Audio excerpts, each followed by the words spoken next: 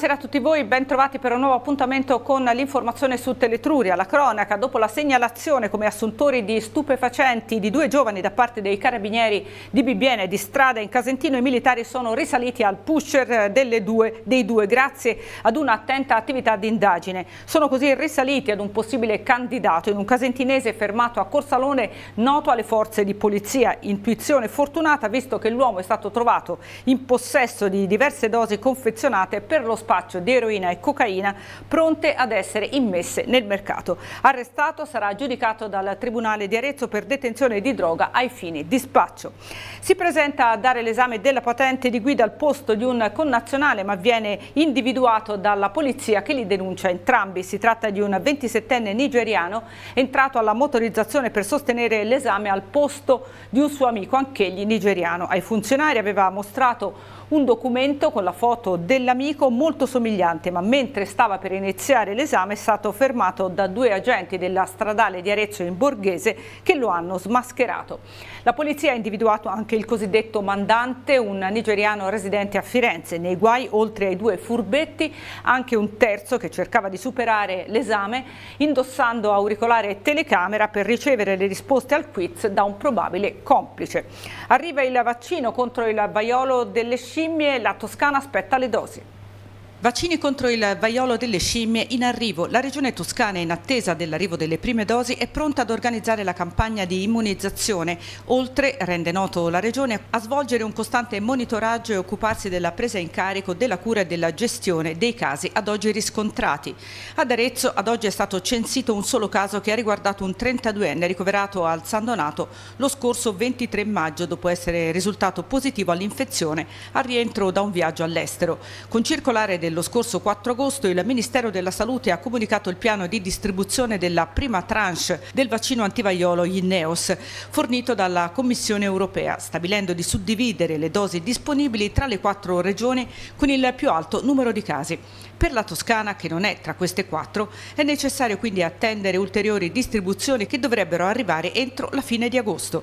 I vaccini saranno destinati alle categorie ad alto rischio indicate nella circolare ministeriale perché secondo gli esperti al momento la modalità di contagio e la velocità di diffusione così come l'efficacia delle misure non farmacologiche fanno escludere la necessità di una campagna vaccinale di massa. In questa fase quindi Regione Toscana e aziende sanitarie a partire dalle strutture di malattie infettive sviluppano svilupperanno tutti i passaggi necessari per definire modalità di somministrazione, in osservanza delle opportune misure da adottare e in attesa che le dosi necessarie di vaccino siano effettivamente disponibili. Sono 93 i nuovi casi di Covid in provincia di Arezzo, lo riporta il bollettino dell'ASL. La situazione è stabile all'ospedale San Donato di Arezzo con 5 ricoveri. Anche oggi guariti superano i casi e sono 246. Sono molti coloro che andranno in ferie in questo periodo vicino a Ferragosto, ma c'è l'insidia dei voli cancellati. Sono 35 milioni gli italiani che hanno deciso di andare in vacanza per almeno qualche giorno nell'estate 2022. Come abbiamo detto, agosto è il mese preferito per le vacanze con la scelta che è ricaduta in due italiani su tre. Numeri che certificano la netta ripresa del mondo del travel in Italia dopo aver superato le difficoltà riscontrate legate alla pandemia. L'aereo è il mezzo più veloce e maggiormente preferito per effettuare gli spostamenti, specie quelli più lontani. Una scelta intrapresa anche nell'imminente ponte di Ferragosto agosto che vedrà milioni di italiani coinvolti in viaggi per trascorrere almeno qualche giorno la settimana successiva in relax al mare, in montagna o in città d'arte. E se da un lato è stata netta la ripresa del turismo italiano ed anche europeo, dall'altro lato bisogna fare i conti con le amare sorprese che sempre più spesso capitano nelle ultime settimane. Decine di migliaia di voli, infatti, fa sapere Italia Rimborso, sono stati cancellati improvvisamente da parte delle compagnie aeree. Ho riportato un ritardo consistente, tanto da poter richiedere la compensazione pecuniaria pecuniaria prevista dal regolamento europeo 261 del 2004. Per i soli mesi di giugno e luglio Italia Rimborso ha raccolto dati che mostrano come sia possibile richiedere risarcimenti per oltre 50 milioni di euro, molti dei quali però non richiesti da parte dei passeggeri ignari delle proprie possibilità certificate dal regolamento comunitario. Non tutti i voli però sono risarcibili. Nei casi di sciopero come quello del 17 luglio scorso ed ora in atto per i lavoratori Ryanair in Spagna per i prossimi cinque mesi, il passeggero infatti può ricevere esclusivamente il rimborso delle spese extra sostenute in termini di trasporti, hotel e pasti per giungere a destinazione. Per tutte le informazioni www.italiarimborso.it. Grande successo nel grande anfiteatro tunisino di El Gem per il concerto italiano di Oida e Spazio Seme. Più di 1500 spettatori in piedi per applaudire Oida Orchestra Instabile di Arezzo e Gianni Bruschi al baritono di Spazio Seme assieme ad Alfonso Zambuto, tenore Valentina Corò, soprano dell'Accademia del Maggio Fiorentino al Teatro Comunale di Firenze. Il concerto italiano si è tenuto mercoledì 10 agosto all'interno del Festival Internazionale di Musica Sinfonica nella città tunisina di El Gem. Lo spettacolo è stato un omaggio alla canzone e alla cultura italiana, dalla grande opera lirica ai cantautori nazionali degli anni 60 e 70 e si è concluso con un bis reclamato a gran voce dal pubblico dove Oida e Bruschi assieme ai cantanti del maggio hanno eseguito O Sole Mio. Dopo le tournée in Cina, Stati Uniti, Canada, eh, Corsica, sbarchiamo in questo meraviglioso anfiteatro di El Gem e siamo grati davvero al Ministero della Cultura tunisina, a Gianni Bruschi, a Spazio Seme per averci dato questa opportunità. E il programma del concerto eh, verterà appunto su arie d'opera e inizieremo con Overture del Barbiere fino a toccare aree di Rigoletto, Tosca, Turandot e ci legheremo poi a un'altra cultura alta italiana che è quella del cantautorato, quindi eh, eseguiremo musiche di cantautori italiani del Novecento. È con vero piacere che Oida, l'orchestra instabile di Arezzo, ha risposto alla chiamata di questo bellissimo concerto che eh, si svolge nel paese di El Geim dentro questa bellissima struttura che è l'anfiteatro romano. Uno spettacolo immenso, uno scenario meraviglioso per eh, celebrare questo concerto voluto eh, fortemente dal Ministero della Cultura e del Turismo di, della Tunisia e anche grazie alla collaborazione di Spazio Seme con Gianni Bruschi.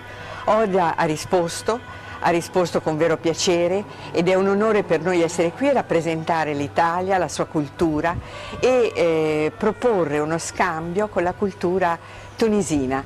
Eh, siamo stati accolti con grande simpatia e mh, mm, speriamo che appunto questo, questa collaborazione possa proseguire anche nel tempo.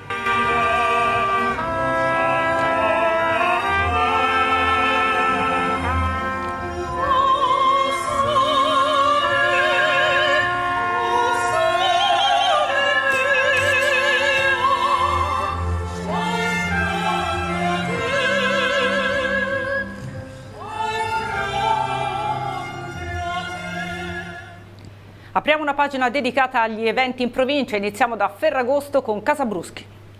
Per un Ferragosto all'insegna dell'arte, la Casa Museo dell'Antiquariato Ivan Bruschi resterà aperta lunedì 15 agosto dalle 10 alle 13 e dalle 14 alle 18 con ingresso gratuito, in linea con quanto avverrà nelle Gallerie d'Italia di Intesa San Paolo. Per le famiglie con i bambini che vogliono imparare divertendosi, stimolando l'intuito e la creatività, il 15 agosto saranno gratuitamente disponibili due kit per percorsi di visita a loro dedicati, le carte didattiche, un mazzo di carte con cui viaggiare particolare tra le opere esposte. Fino al 23 ottobre sarà invece possibile visitare l'esposizione Pietro Benvenuti nell'età di Canova, dipinti e disegni da collezioni pubbliche e private, curata da Liletta Fornasari ed inserita nel progetto Terre degli Uffizi, ideato e realizzato da Gallerie degli Uffizi e Fondazione CR Firenze. Alla Chiesa dei Santi Lorentino e Pergentino c'è la bella mostra su Eleonora da Toledo organizzata dalla Fraternita. La chiesa dei Santi Lorentino e Pergentino in via Cavour ospita una bellissima mostra dedicata a Eleonora da Toledo. La bella notizia è che questa mostra organizzata dalla Fraternità dei Laici ha raggiunto in pochissimo tempo quota mille presenze. Quando le idee sono concrete e ricche che di contenuto sia sempre successo. E così è accaduto per questa mostra dedicata a una donna molto moderna, contemporanea, vissuta però 500 anni fa, Eleonora de Toledo, che era la moglie di Cosimo I dei Medici, il Granduca di Toscana, quindi è stata la prima duchessa della nostra Toscana.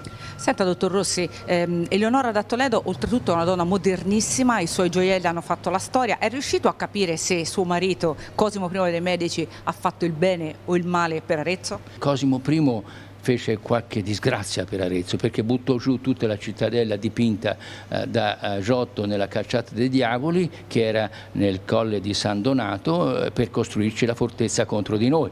Buttò giù anche il Duomo Vecchio, portò via la Chimera porto via la Minerva e allora noi facciamo, noi ti facciamo una bella mostra dedicata alla tua moglie, però noi aretini facciamo il Tribunale della Storia, valutiamo se tu hai fatto un'azione positiva o negativa per la nostra città. Insomma, la storia è maestra di vita e la mostra su Leonora da Toledo resta aperta anche il 15 agosto. Ma certamente, venite, eh, perché voi vedete la città del 1540, quando questa, questa, giovane coppia, lui 21 anni, lui 18, stavano formando lo Stato, eh, erano entusiasti per la loro vita, sono venuti qui ad Arezzo, sono andati alla Verna, sono andati in altre parti della, della nostra provincia, insomma raccontiamo una pagina storica di una coppia innamorata perché furono innamorati per tutta tutta la vita. A Castiglioni troviamo invece il Vintage Festival.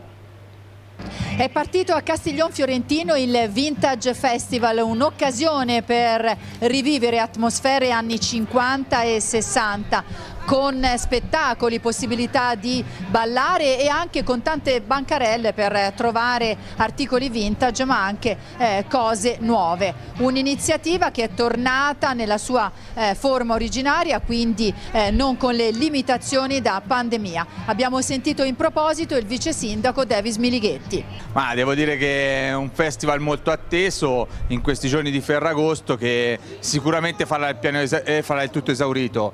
Eh, già si vede tanta gente, c'è voglia di sano divertimento, di passare con le famiglie eh, fra market, cibo e musica e siamo pronti ad accogliere tutte queste persone. Tra l'altro la cosa carina che abbiamo visto girando è che tante persone si sono proprio vestite anni 50, anni 60, quindi sono entrate nell'atmosfera, segno che anche la manifestazione è entrata nell'immaginario collettivo. Sì, c'è un crescendo diciamo, del, della manifestazione con il coinvolgimento sempre più sia del, degli ospiti che vengono ma di tutti i cittadini e di tutti coloro che vogliono partecipare a questo ritorno agli anni 50 e 60.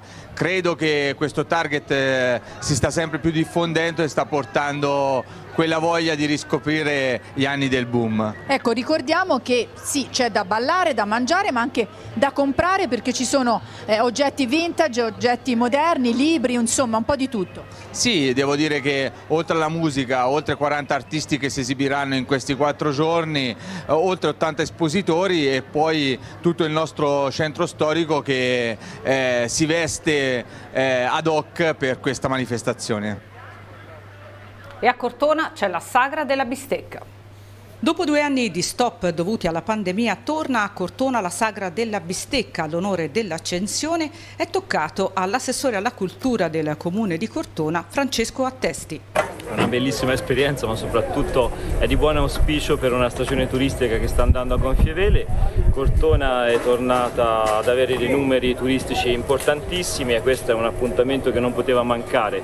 Eh, fino all'ultimo sono state un po' di incertezze dovute all'organizzazione, ma comunque adesso eh, siamo qua e sono convinto che ci sarà un grandissimo afflusso. Sagra della bistecca, ma non solo, l'estate cortonese pullula di iniziative culturali. Sì, ci saranno concerti in piazza, ci saranno appunto la Sagra della bistecca, sono in corso anche due mostre importantissime, quella di Pietro da Cortona, Cortona on the Move, ricordo anche l'altra che riguarda Guernica di Picasso a Palazzo Ferretti, ma poi soprattutto c'è una grandissima attesa per l'apertura il 19 della Cortona Antiquaria che appunto eh, ci, sarà, mm, ci, saranno molte sorprese e grandissimi ospiti. Quest'anno la situazione diciamo, sembra positiva perché c'è veramente molta gente a Cortona, questo è il primo aspetto importante sia per la città che per noi. E questo lascia ben sperare che queste serate possano essere molto interessanti anche per la sagra, quindi abbiamo visto c'è già un buon flusso questa sera che è un po' diciamo, l'inizio della, della sagra e quindi siamo positivi. Salvaguardare i posti di lavoro e il panno del Casentino e questa è la richiesta portata avanti dal consigliere regionale della Lega Marco Casucci. Si torna a parlare del panno del Casentino, eccellenza del territorio che rischia di scomparire per sempre. Questa volta il consigliere della Lega Marco Casucci a presentare un atto in Consiglio regionale affinché venga fatto tutto il possibile per salvaguardare i 18 posti di lavoro. Abbiamo presentato un atto in Consiglio regionale su una vicenda che ci sta particolarmente a cuore, quella della sorte dei 18 lavoratori della manifattura del Casentino, il panno del Casentino, una delle produzioni di eccellenza del Casentino. Chiediamo alla Regione Toscana di impegnarsi concretamente, sappiamo che ci sarà un tavolo di crisi la prossima settimana e di informare adeguatamente il Consiglio regionale. Infatti la vicenda è ancora eh, intricata e richiede la massima attenzione da parte delle istituzioni. Occorre fare di tutto per salvaguardare i posti di lavoro e la storicità di questa produzione. Cani e gatti come salvaguardarli e salvarli dai colpi di calore in quest'estate rovente, i consigli dei veterinari dell'ASL. Durante la stagione calda è molto importante preoccuparsi del benessere dei nostri animali perché proprio come noi anche i piccoli amici a quattro zampe soffrono le alte temperature. Il rischio più grande per cani e gatti durante l'estate è il colpo di calore. I sintomi del colpo di calore si manifestano con irrequietezza, bava alla bocca e difficoltà di stare in piedi. In questa stagione è importante adottare alcune accortezze come saper scegliere l'orario giusto della passeggiata, il mattino presto o la sera dopo cena portando sempre dietro dell'acqua per tenere idratato l'animale. Inoltre anche la scelta del luogo è importante, è preferibile per esempio un prato rispetto ad un asfalto soleggiato o ad altre superfici particolarmente calde che possono determinare scottature e polpastrelli dei nostri piccoli amici. È importante che gli animali abbiano poi a disposizione un angolo fresco per proteggersi dal caldo e una ciotola di acqua fresca. Ultimo avvertimento, spesso purtroppo dimenticato anche da chi si professa amico dei suoi animali, mai lasciare cani o gatti in macchina. La temperatura temperatura all'interno dell'abitacolo dell'auto infatti può raggiungere in pochi minuti livelli molto alti durante una giornata calda, anche nel caso in cui l'auto fosse parcheggiata all'ombra con i finestrini aperti. Se dovessimo notare un animale rinchiuso in un'auto, occorre immediatamente avvertire le forze dell'ordine e una volta fatto liberare controllare le sue condizioni di salute. Appena possibile rinfrescare l'animale con dell'acqua fresca e farlo subito visitare da un medico veterinario. I comuni di Bibbiene e Subiano hanno firmato la, per, la convenzione per la centrale unica di committenza. Sentiamo. I sindaci di Bibbiena e Subiano hanno firmato la convenzione per la gestione associata della centrale unica di committenza. Questo porterà ad un miglioramento in termini di velocità, efficienza e risparmio di risorse in tutte le procedure di gara emesse dai due enti. È importante trovare delle collaborazioni tra sindaci, tra comuni, tra territori, soprattutto quando questi territori sono dei territori del, della stessa vallata, della stessa provincia, quindi sono felice e ringrazio la collega sindaca di Subiano, Ilaria Mattesini, per aver eh, voluto insieme al nostro comune questa convenzione della CUC, la Centrale Unica di Committenza, che è sostanzialmente una convenzione per mettere insieme l'ufficio gare, ovvero quell'ufficio che emette, emana i bandi di gara per tutti quelli che sono i nostri cantieri o servizi una, so, sopra una certa soglia di importo.